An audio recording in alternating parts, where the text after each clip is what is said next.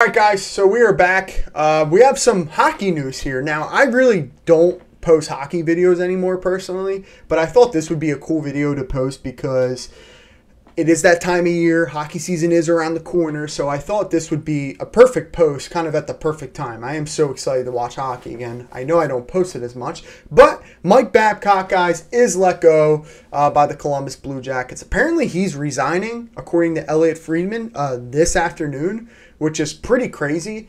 Now, the, this whole thing is just bizarre. So apparently, Paul Bissonnette was the first one to come out and pretty much say hey guys, you know, Mike Babcock is going through players' phones, blah, blah, blah. You know, obviously Columbus was investigating it, the league was investigating it.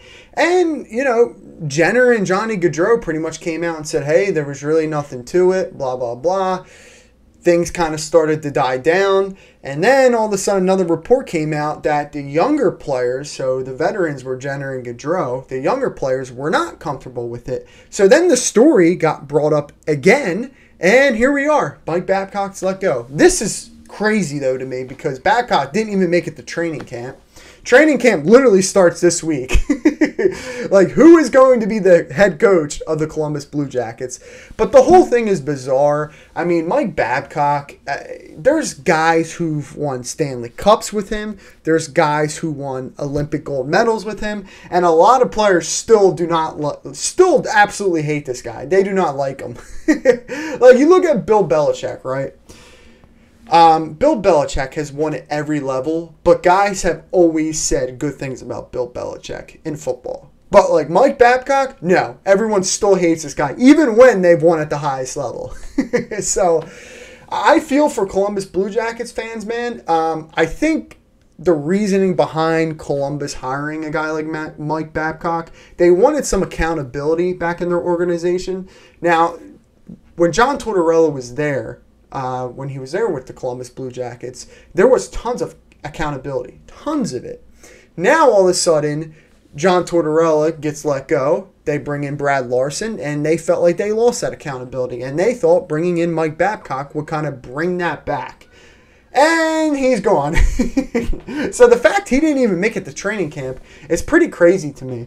And I remember when Paul Bissonnette came out with this, I didn't even believe Biz. I didn't. I, I, I thought, you know, this was smoke. I did. I truly did. I just thought it was Mike Babcock. You know, he's an old fashioned coach. You know, he wants to see pictures of like people's families on their phone. And apparently he put like pictures, families, and stuff on a on a big screen. Yeah, that's weird as shit. You don't do that. But apparently that's what he's been doing. So the whole thing's weird. Like you, you just you can't do that with certain players, and especially like in today's world. This used to be type of just the type of things you would get away with back in the day. Now you're not going to get away with this. So the fact that he put players, families, and kids on a big screen and they were going over things. It's just a weird way to get to know someone personally. But I, in the beginning, I thought Biz was this was all smoke. You know, I didn't really think anything of it, but now with all this information coming out, holy shit, this is weird. so there it is. Um, I, I'm trying to even think who's still out there that can maybe coach, uh, can be the next head coach of this team. But I'll tell you what, with camp only being a week away and them not having a coach, is going to be tough because usually it takes time for head coaches to kind of figure out what they're going to do in camp, what kind of drills they're going to do. Now they don't have anyone, and I, I don't know what's going to happen. This is huge news, huge news. So, trying to see if there's any other information on this personally with, uh, you know, with Elliotte Friedman. Um, so here's the actual post. Mike Babcock resigns as head coach of the Columbus Blue Jackets. Um, yeah, so apparently Pascal Vincent is named head coach, whoever that is. So the the whole thing is crazy. And look, somebody posted right there, so this was a quick search. Happy uh, for Pascal. Um, but you know what? Somebody posted here, Jarmo should be out too. Like, if I'm the owner of the Columbus Blue Jackets, I am pissed off. Pissed off like you Mike Babcock, when he was getting interviewed, he was already like a controversial like name. Like there was a reason teams didn't hire this guy. So I don't know even who Pascal Vincent is, but he's named head coach, which is crazy. Um, I, I don't I, I don't even know.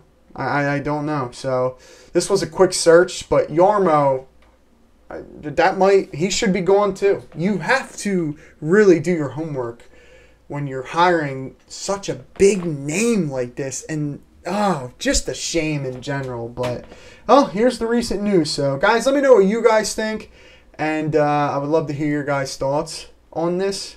Um, I thought they would look kind of more out there but I guess not. They already have their head coach, which is pretty bizarre to me. So we'll see how this all plays out. Camp is literally like five days away, which makes this even worse. So, guys, I'll check you guys all later. Have a great day. And let me know what you guys think on this whole situation. What a bizarre situation. Peace.